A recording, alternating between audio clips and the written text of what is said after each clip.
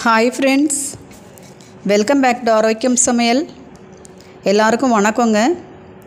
இந்த வீடியோவில் ஒரு ஹெல்தியான மொறு மொறு ராகி தோசை தாங்க எப்படி செய்கிறதுன்னு பார்க்க போகிறோம் இதை உடனே நம்ம வீட்டில் செஞ்சிடலாங்க இந்த ஹெல்தியான ராகி தோசை எப்படி செய்கிறதுன்னு வீடியோக்குள்ளே போய் பார்க்கலாம். வெல்கம் டு ஆரோக்கியம் சமையல்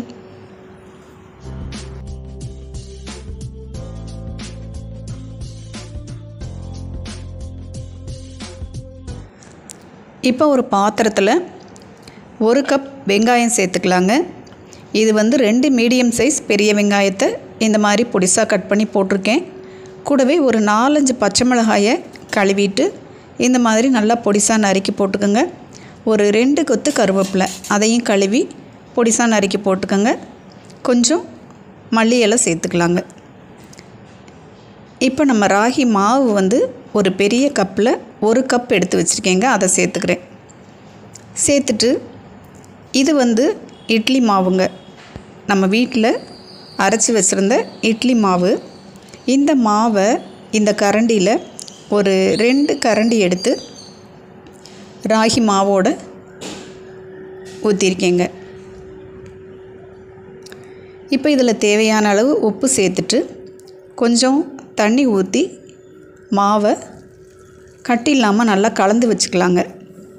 இந்த மாவு வந்து கொஞ்சம் தண்ணியாக இருந்தால் தாங்க நல்லாயிருக்கும் அதனால் நம்ம ரவை தோசைக்கெல்லாம் மாவு கரப்பம் பார்த்துருக்கீங்களா அது மாதிரி கொஞ்சம் தண்ணியாகவே கரைச்சிக்கோங்க. இப்போ மாவு ரெடி ஆயிடுச்சுங்க. அடுத்ததாக தோசை ஊற்றுறதுக்கு ஸ்டவ் ஆன் பண்ணி தோசை கல் வச்சுக்கலாங்க. இது மேலே கொஞ்சமாக எண்ணெய் தடவி விட்டுறலாம். தோசைக்கல் நல்லா சூடானதுக்கப்புறமா நம்ம கரைச்சி வச்சுருந்த மாவை எடுத்து எப்பயும் போல் நம்ம தோசை ஊற்றுறது மாதிரி ஊற்றிக்கலாங்க இதில் நம்ம வெங்காயம் பச்சை மிளகா மல்லி கருவேப்பிலை இதெல்லாம் போட்டிருக்கிறதுனால ரொம்ப நைஸாக ஸ்ப்ரெட் பண்ண முடியாதுங்க. கொஞ்சம் திக்காக தான் இருக்கும். ஸ்டவ்வை சிம்மில் வச்சு நல்லா வேக விட்டுருங்க. இதோட கலர் வந்து நல்லா மாறி வந்துருச்சுன்னா நமக்கு தோசை வந்து வெந்துருச்சு அப்படின்னு அர்த்தம். இப்போ பாருங்கள் நல்லா மொறு மொறுன்னு தோசை நமக்கு ரெடி ஆயிடுச்சுங்க இதை திருப்பி எல்லாம் போட வேண்டாம். அப்படியே நம்ம எடுத்து வச்சு சாப்பிட்லாங்க. இன்னொரு தோசை நம்ம ரவை தோசை மாதிரி ஊற்றி பார்க்கலாங்க. எப்படி வருதுன்னு பார்க்கலாம். இந்த மாவில் இன்னும் கொஞ்சம் கூட தண்ணி கலந்து கூட நம்ம ஊற்றலாம் ரொம்ப கிறிஸ்பியாக இருக்கும். சாப்பிட்றதுக்கும் ரொம்ப நல்லா இருக்குங்க. அப்படியே நம்ம கடையில் வாங்கி சாப்பிட்ற ரவை தோசை மாதிரியே இருக்கும்.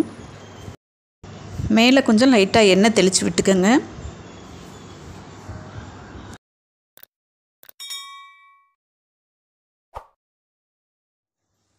ஸ்டவ்வை சிம்லேயே வைங்க. இப்போ பாருங்கள் தோசை நல்லா வெந்துருச்சு. அப்படியே எடுத்துடலாங்க. பெரட்டியெல்லாம் போட தேவையில்லை. இதுக்கு வந்து இன்றைக்கி நான் வச்சுருக்குது கார சட்னி தாங்க வச்சுருக்கேன். இதுக்கு தேங்காய் சட்னி ரொம்பவே சூப்பராக இருக்கும். மட்டன் சிக்கன் எல்லாமே வச்சு சாப்பிட்றதுக்கு ஒரு அருமையான சைடிஷ்ஷாக இருக்குங்க. இதே மாதிரி நீங்களும் உங்கள் வீட்டில் ஒரு தடவை ட்ரை பண்ணி பாருங்கள் ஃப்ரெண்ட்ஸ் செஞ்சு பார்த்துட்டு தோசை எப்படி இருந்ததுன்னு கமெண்ட்டில் சொல்லுங்கள் இது ஆரோக்கியம் சமையல். ஆரோக்கியமாக சமைக்கலாம். ஆசதியரை சாப்பிட்லாம்.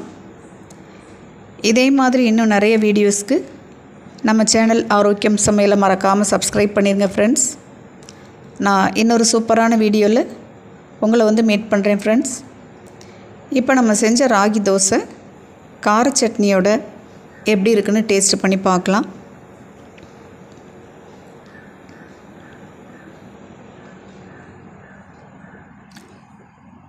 டேஸ்ட்டை சொல்லவே முடியாதுங்க.